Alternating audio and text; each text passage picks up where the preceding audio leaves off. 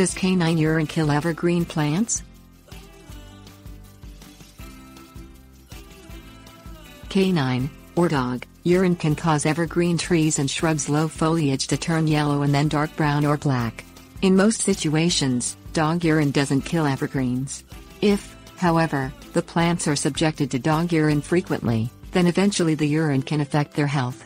Certain measures, though, can prevent or reduce dog urine's damage to evergreens. Dog urine's effects Dog urine contains urea, which is produced as a waste product when protein is metabolized in the body, and it is excreted along with other salts in the dog's urine. Urea is a nitrogen compound that is used in fertilizers because in soil it is converted to nitrates, which are the primary form of nitrogen used by plants. The urea in dog urine isn't beneficial to plants because its concentration is too high, which creates an environment in which water is drawn out of plant cells. Prevention Other than installing a fence, not much can be done to prevent a neighbor's dog from urinating on your plants. If your dog is the source of the urine, then modifying its diet may prevent the urine from damaging your evergreens and other plants. Feed the dog low to moderate protein foods instead of those labeled as high in protein. Less protein reduces the amount of urea in the urine.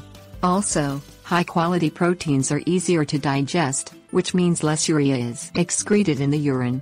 Typically, dog foods labeled as premium and super premium and that are available at pet stores and veterinarian offices have higher quality proteins than most brands available at grocery stores, but consult your dog's veterinarian before making changes in the dog's diet. If you can tea change your dog's food, dilute the dog's urine by adding water to the canine's food, using canned dog food or increasing its daily water intake. Your dog may need to go outside to urinate more often than previously, but its urine will be less likely to burn your evergreens and other plants. Repair Urine damaged evergreens are not a lost cause, although their discolored foliage may not regain its green color. If you see the dog urinating on the plants, immediately rinse the plants with water to dilute the urine, which can prevent damage. If damage has occurred, water the ground around the plants, which leaches the salts from the soil.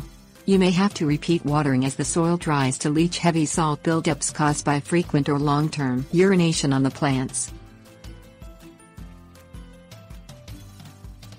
Salt-tolerant evergreens Plants that have a high salt tolerance may be able to withstand dog urine salts better than other plants. Salt-tolerant evergreen trees include Chinese juniper Juniperus chinensis, which is hardy to U.S. Department of Agriculture USDA plant hardiness zones 2 through 8, blue spruce Picea pungens, which is hardy to USDA zones 2 through 7, and mugo pine Pinus mugo, hardy in zones 2 through 7.